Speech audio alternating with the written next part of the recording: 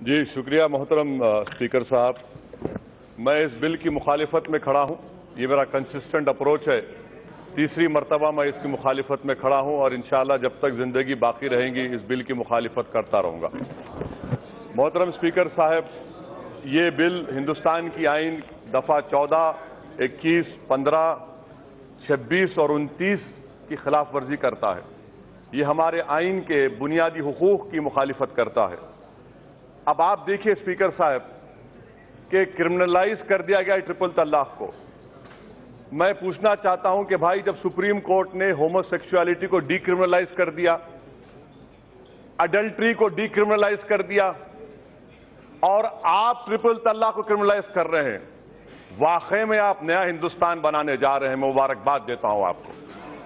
کہ چوتھی بات کہ سر سپریم کورٹ نے کہا، یہ بل بھی کہتا ہے کہ اگر کسی مسلمان غلطی سے اپنی بیوی کو تین بار طلاق کہتا ہے تو تب بھی شادی نہیں ٹوٹتی۔ یہ بل میں کہہ رہے ہیں آپ۔ سپریم کورٹ بھی کہہ رہا ہے کہ شادی نہیں ٹوٹتی۔ یہاں پر جتنے ایوان میں اراکین ہیں، میں ان کو بتانا چاہ رہا ہوں سر کہ اسلام میں نو قسم کے طلاق ہیں، جس میں ایک ٹرپل طلاق ہے۔ اور ہوتا کیا ہے کہ اگر کسی مسلمان نے کہہ دیا تین مرتبہ ایک ساتھ آپ یہ عورتوں کے خلاف کیوں ہیں سر؟ اس لیے ہے کہ وہ مسلم مرد پہ آپ تو کیس بک کریں گے، وہ جا کے پولیس سے کہا کہ نہیں سر، میں نے تین نہیں، ایک کہا۔ اب اسلام میں یہ ہے کہ تین مہینے کے بعد طلاق ہو جاتی ہے۔ آپ اس مرد کو موقع دے رہے ہیں، اس عورت پہ ظلم کر رہے ہیں، اس طرح کا قانون بنا کر۔ یہ اس لیے کہہ رہا ہوں کہ یہ مسلم خواتین کے خلاف یہ قانون ہے۔ چوتھی بات، sir burden of proof sir burden of proof کون اس مرد کے گھر سے کورٹ میں جا کر اس کمزور جس کے خلاف ظلم کیا گیا، اس کے تائید میں کھڑے رہے گا۔ برڈن آف پروف آپ عورت پہ ڈال رہے ہیں۔ مبارک آپ کو یہ آپ کی واقعی میں اچھی سوچ ہے۔ اور سر، آپ شوہر کو گرفتار کریں گے، جیل میں ڈالیں گے۔ جیل میں ڈالنے کے بعد کیا کوئی شوہر جیل میں بیٹھ کر مینٹیننس دے گا؟ اچھا پھر اگر کورٹ نے فیصلہ لیا کہ اس کو ہم تین سال کی سزا دے دیتے ہیں تو کیوں وہ عورت تین سال تک اس شادی میں رہے؟ یہ عورتوں پر ظلم نہیں ہے کہ جیل میں بیٹھا رہے اور عورت اس کے انتظار میں بیٹھا رہے اور تین سال کے بعد جب وہ جیل سے نکلے گا تو عورت یہ کہے کہ بہاؤ پھول برساؤ، میرا محبوب آیا ہے۔ یہ کون سا انصاف ہے سر یہ؟ آپ کیوں عورتوں پر ظلم کر رہے ہیں؟ اس عورت کو اس شادی سے نکلنے کا اختیار ملنا چاہیے جو آپ نہیں دے رہے ہیں۔ پانچویں بات سر، بیل۔ بیل بل میں کہتے ہیں کہ کورٹ خاتون کو سنے گا۔ سر ہوم منسٹر بیٹھے ہیں۔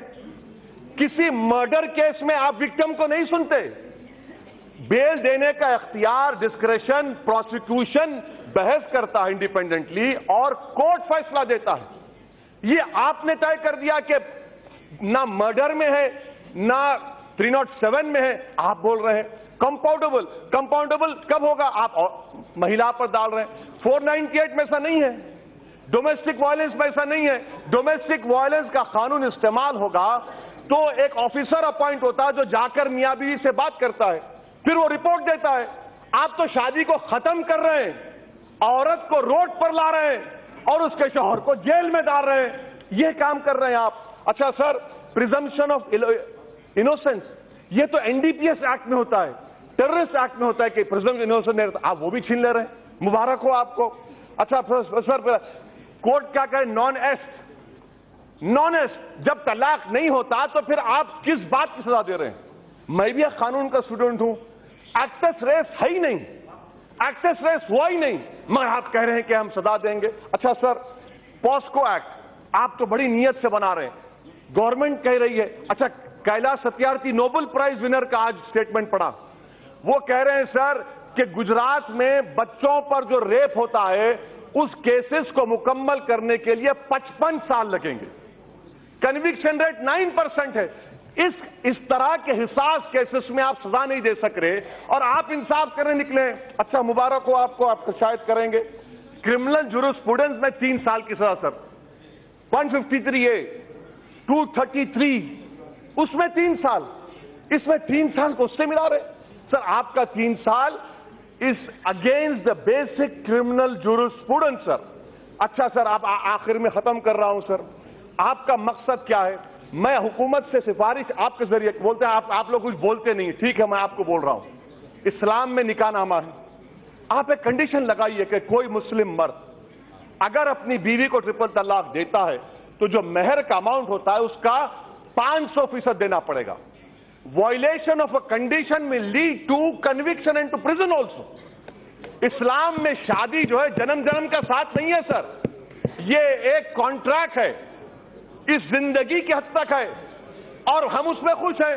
آپ کہہ رہے ہیں کہ نہیں، جنم جنم کا ساتھ ہے۔ نہیں بابا، ایک ہی زندگی کافی ہے۔ اچھا۔ سر، میں یہ کیوں کہتا ہوں؟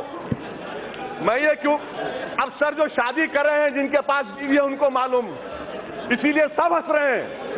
سب کو معلوم کیا تکلیف ہے۔ باہر آ کر تو سب زندہ باد، یہ سب کہیں گے، ہمارے گھر میں سب کیا ہوتا ہے معلوم۔ اچھا سر آرٹیکل ٹوینٹی سکس کا وائلیشن کیوں ہے؟ آرٹیکل ٹوینٹی سکس کا وائلیشن کیوں ہے؟ آرٹیکل ٹوینٹی سکس میں ریلیجیس ڈینومینیشن کو اختیار ہے اپنے رائٹ کو پروٹیکٹ کرنے کا۔ سر، میں ہندوستان میں مسلمان ہوموجینس نہیں ہے حنفی ہیں، شیعہ ہیں، اہل حدیث ہیں۔ اب آپ میرے کو بتائیے، مختار نقوی صاحب چلے گئے، ان سے پوچھ لیجیے کہ شیعوں میں سیغا ہے، اہل حدیث مانتے ہیں، حنفی نہیں مانتے۔ بار بار جو اسلامک ممالک کا اگزامپل دیتے سر آپ پڑھ لیا کریے۔ الجیریا میں شافائی ہے، کیرلا میں شافائی ہے۔ ایران میں شیعہ ہے تو سر یہ غلط طریقہ ہے اور ہم کو اسلامک ممالک سے مت ملائیے، ورنہ ریڈیکلزم بڑھے گا، مت ملائیے ہم کو۔ ہم کو اسلامی ممالک سے مطلب نہیں، ہم کو ہندوستان سے، بھارت سے مطلب ہے۔ اچھا سر، میں آپ کو بات بتا رہا ہوں۔ سر، اب آپ دیکھیے سر، یہ سرکار کی نیت دیکھیے، صاف نیت۔ می ٹو جب موومنٹ چلا گروپ آف منسٹرز کی رپورٹ کہاں گئی؟ آپ نے گروپ آف منسٹرز کو ڈس بینڈ کر دیا۔ آپ نے اپنے ایم پی کے خلاف ایکشن نہیں لیا۔ یہ آپ کی مہیلاؤں سے محبت، مبارک ہو آپ کو۔ اچھا سر، تیویس لاکھ ہمارے بھارت میں ہندو مہیلا ہیں جو شادی شدہ ہیں مگر اپنے ہسبینڈ کے ساتھ نہیں ہے کہاں گئی آپ کی محبت بھائی؟ سر، ختم کر رہا ہوں سر۔ میں کمزور ہوں سر، آپ ہی دو تو بھگا دیے اب آپ بھی اچھا سر سر، میں ختم کر رہا ہوں۔ مظفر نگر میں ایک بھی مسلم مہیلا پہ جو ریپ ہوا ایک بھی کیس میں کنوکشن نہیں ہوا، سر۔ مبارک ہو آپ کو، یہ آپ کی محبت ہے۔ اچھا سر، جولائی دو ہزار اٹھارہ میں سپریم کورٹ نے کہا کہ موب لنچنگ کے خلاف قانون لائیے۔ آپ ابھی تک نہیں لاتے۔ سر، کیوں نہیں لاتے، سر؟ آخر میں اگر واقعی میں موڈی سرکار، میں ختم کر رہا ہوں، سر لاسٹ سینٹنس اگر واقعی میں کرنا چاہ رہے ہیں، آپ جلی کٹو پہ آرڈیننس لائے۔ کہ آرٹیکل 26 کا مجھے پروٹیکشن نہیں ملے گا؟ 29 کا نہیں ملے گا؟ اور آپ واقعی میں مہیلاؤں کی مدد کرنا چاہتے ہیں، تو میں آپ کے ذریعے سے سرکار سے کہنا چاہ رہا ہوں کہ ہندوستان کے وزیر اعظم، ہندوستان کے وزیر داخلہ، ہندوستان کے وزیر قانون، بی جے پی کے جتنے مہیلا ایم پی ہیں، ان کو اسپیشل ایئر کرافٹ میں سابری مالا لے کر جائیے۔ پلیز لے کر جائیے، سر۔ اور میں ختم کرنے سے پہلے کہہ رہا ہوں، یہ قانون مسلمانوں کو ان کی تہذیب ان کے تمدن ان کے مذہب سے دور کرنے کے لیے لایا گیا ہے۔